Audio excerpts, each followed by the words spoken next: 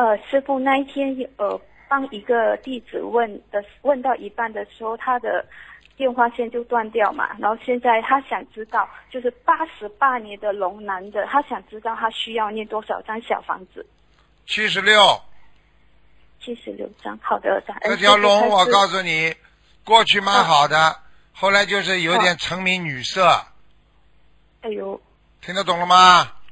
哦，嗯，他可是他也是到了谈恋爱的年龄了。谈恋爱，谈恋爱就是乱玩啊！谈恋爱、嗯，不过不过他他没有没有去乱搞这一些，没有乱搞，在网上乱看就叫乱搞，听不懂啊？哦哦哦，好。脑子里天天想着女人那种事情的话，你说说看，算不算邪淫啊？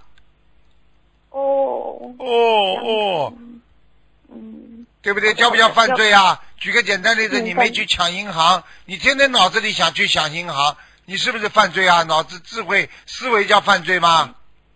对对对，啊，对对对意，念意念犯罪会大过于不一定，去说不一定。哦，不一定就是说就是说你意念想，比方说你意念想了一个小时，对不对啊？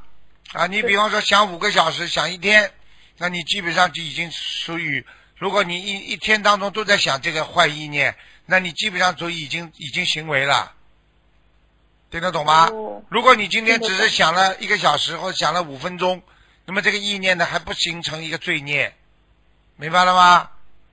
嗯，明白了。啊如果是有生意念的时候，真的是不小心看到一些网上因为太多一些不好的资讯，这一些不能点进去，不能点进去，听得懂吗？我不能点进去，啊跳过就算了。跳过嘛就看过就好，对他感兴趣了，你已经邪淫了。哎呦，好好好，你开玩笑了，这么容易的学佛？干净？什么叫干净啊？你一条一件白衬衫上面，你说说看，弄一点点墨汁的话，看得清楚不啦？哦，还是有一点点，哎，好啦，算不算脏啦？嗯，也是脏的。哎，好啦，明白了吗？哦，师傅，如果我们一般我们一一直上网嘛，有时路人会看到很多一些乱七八糟的东西，我们看到的时候马上念七佛灭罪真言。如果去什么？去不不念灭罪真言都不要念，因为你看进去了，哦你才要念，对不对啊？你说说看，谁？你看看有修养的人看到他会他会盯着看不啦？看都不要去看，理都不要去理他。嗯这种肮脏的东西你就就像就像一个两个动物一样的。那这种东西，这个搞乱七八糟的，像这像像娱乐圈这种八卦新闻，今天跟他好了，明天跟他好了，哎呀，你们不懂的，你们不会，你不，哎呀，佛教我们看这个人跟人，哎呀，你要看看这个人，你你看表面没用啊，你看里边多脏啊，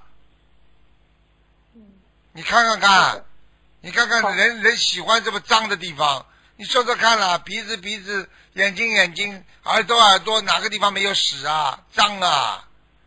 喜欢他妈臭要死了，真的，我都不知道你们怎么想的。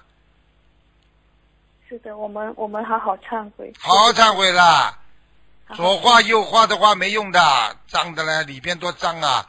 鼻孔往里边再看一点点，都是细菌啊，鼻涕啊，鼻屎啊，啊，你看看这这这再怎么美女也没用啊，啊，对不对呀？耳朵你往里边再看看是什么东西啦，啊，嘴巴里看看这个牙齿啊，脏的嘞，臭要死的，全是牙屎啊！你这样看的话，你怎么会你怎么会整天的沉迷沉迷于女色呢？男色呢？嗯恶心都恶心死了，听不懂啊？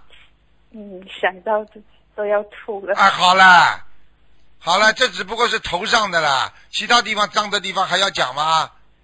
嗯，对，好啦。是我们要好好克制，感恩师傅的开示。用这种方法嘛就克制了呀。嗯，就是恶心。啊，好了，是是是感恩师傅，